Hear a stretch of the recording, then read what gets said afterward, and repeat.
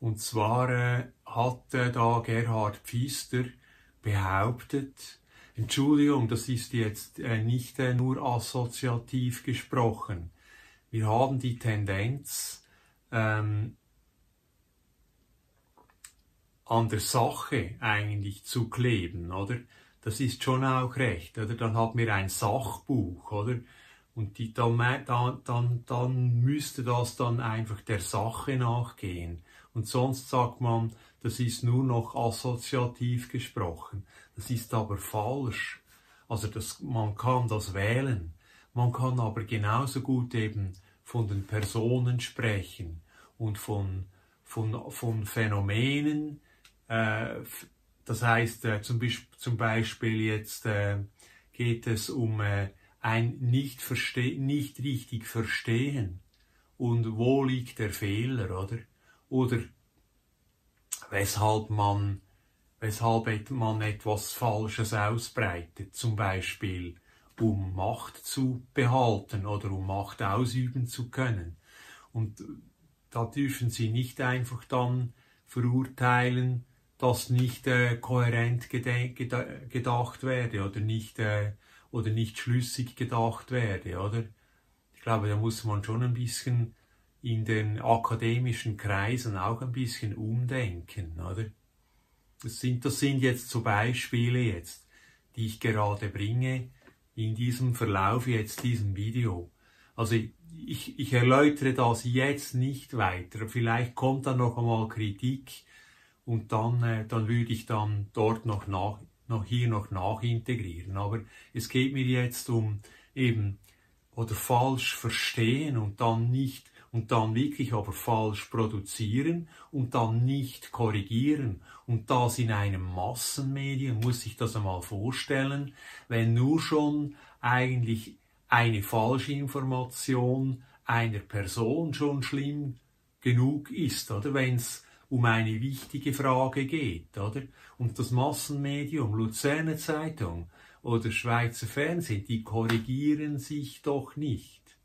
Das ist das Schlimme. Und das ist, das ist das, deshalb ist das so, so niederwertig. Diese, dem sage ich Zeitungsmodus, oder? Dann kommt einfach wieder ein Blatt, und was da drauf steht, mein Vater hat das schon gesagt. Er hat sich oft, hat er sich ärgern müssen, was da wieder, was da wieder publiziert wurde. Das ist nicht neu, dieses Phänomen, oder? Er hat gesagt, Papier nimmt alles an, oder? Und ja, das ist schon schlimm, oder? Und in diesem Punkt, oder, da durfte jetzt der Gerhard Pfister, das war, ist heute noch äh, der äh, Parteipräsident, heute heißt die Partei Die Mitte, ist fusioniert mit äh, einer anderen Partei. Vorher war das die CVP, also christlich, Sozi christlich, christlich sozial oder einfach christliche Volkspartei oder christlich demokratisch. Das weiß ich jetzt nicht mal, mal mehr, aber einfach sicher christlich, also mit, wirklich mit einem hohen Anspruch an, an Wahrheit, oder? Äh, verknüpft, also sogar noch mit göttlicher Strafe eigentlich oder mit göttlicher Übersicht oder so, oder? Und dann breitet der, der hat Philosophie studiert und der ist ein heller Kopf, aber da sieht man einfach das Verdorbene. Das kommt darauf an, dass man wirklich auch die Wahrheit auch sucht und die Wahrheit auch verkörpert, oder? Und der hat dann gesagt, der wollte natürlich das Christentum, es war dann noch am Weihnachtstag, oder 24. Dezember, in der Zeitung, wo es dann auch noch über mehrere Tage in den aufliegt, die Zeitung, da durfte er dann äh, sagen, dass äh, eigentlich, ja gut, das möchte ich jetzt nicht im Detail ausformulieren, weil das ist immer auch, da muss man ganz genau sein dort, oder? Und da geht jetzt zu viel jetzt dort drauf, weil ich möchte eigentlich etwas anderes sagen, aber er hat eindeutig, eindeutig die Unwahrheit gesagt, oder? Und äh, ja, ja, ähm, also wie wenn wir eigentlich dem Christentum äh, die Aufklärung äh, zu verdanken hätten, oder? Dabei ist es ja so, dass die Aufklärung dazu, dafür gesorgt hat, dass wir aus den Klauen des Christentums gekommen sind, oder? Das Christentum hat sich ja derart ins, ins Schlimme entwickelt. In, in einen in, in einen Feudalstaat, glaube ich hier. Also ich bin ja nicht politologisch gebildet, aber ein, da, da hat es eine, eine völlig eine korrupte Elite, oder? Die haben einfach auch, äh, ja, also schlimm, oder? Ja, ich habe es ausführlich detailliert, oder? Ja, und ähm, das Verstehen, es kann sein, dass er es tatsächlich falsch verstanden hat, aber äh, das äh, müsste er mir dann noch ein bisschen genauer glaubhaft machen, sonst äh, hat er wirklich einfach nur seine Macht missbraucht, oder? Genauso wie eben das Christentum die Herrschenden damals die Fürsten und die Adligen und, die, oder? Das war so ein Klüngel zusammen mit den religiösen Herrschern damals, oder? Und die hat man dann ja mit der Aufklärung entmachtet.